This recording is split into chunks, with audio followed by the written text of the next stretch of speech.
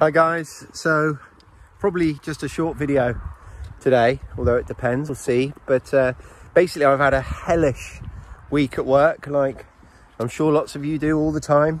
And uh, I'm not complaining, I'm not venting, but it's just been one of those weeks where everything that could have gone wrong on this little project I'm on has gone wrong. And should have been a three day project and it's turned into a five and a half day project. And it's just been it's just not been fun. It's not been a fun place to be. It's not been a fun project to work on. And anyway, it's done now. But uh, so I spoke to my wife and I've got permission to come and walk around a wood. uh, yeah, so basically just to, to decompress, I'm, uh, I'm going to just spend an hour or two walking around a wood and uh, that'll do me. I'll be all sorted again after that. I'll be fixed. Uh, brand new again. So we might find some mushrooms. It's been really good weather and I'll certainly be looking for them, but that's not the purpose of this little trip. The purpose of this little trip is just to uh, put a full stop at the end of my week and just decompress a bit. So um, I'll share anything I find with you. But, uh, oh. and having said that, look, we're not even into the wood yet. And this is a bolete or a bolete of some kind. And uh, it's got a little bit of red on the stem. So I'm going to be leaving it behind because I don't know what it is. But it's one that I might look up a bit later. Uh, but, well, I wasn't expecting to see that before we'd even stepped into the woodland. So that's a good start. That's got my hopes up. So I've just found a, a another bolete down here and we're going to have a bit of a closer look.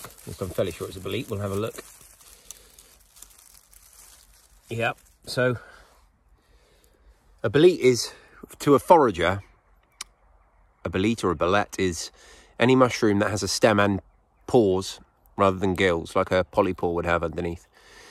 And as I've mentioned before, there's a couple of really easy rules for avoiding all of the bad ones. Um, I got this tip from Wild Foraging, uh, Wild Food UK, so credit to them.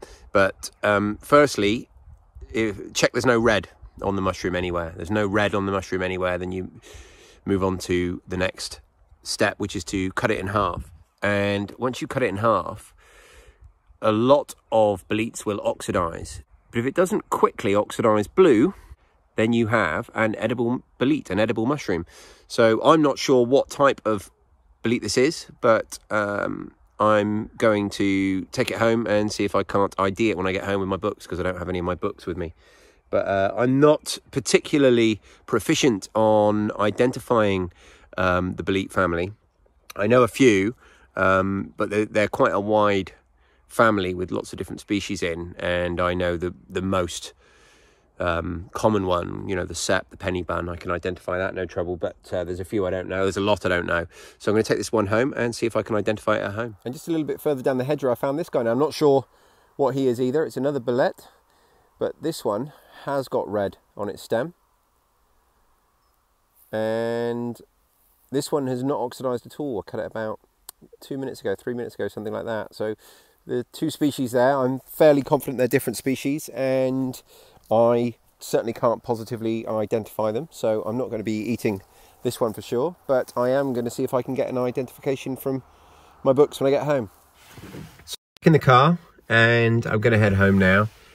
It's been a hellish week for me. It's just been of my of my nine to five job has just been horrible, and it reminds me of why I'm trying to do what I'm doing, and I'm trying to move as much of my life, as much of my living hours away from that and towards the sort of stuff that I share with you guys.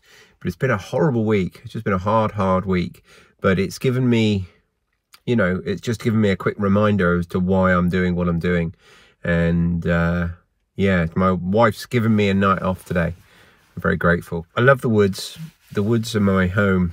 When I uh, when I walk around a woodland, I'm a happy boy and uh, it's helped but i'm just exhausted. I'm physically exhausted and i'm mentally exhausted from a very difficult week. So um, just a short video. Today i'm gonna head home. I'm going to hug my family. I'm going to have a coffee.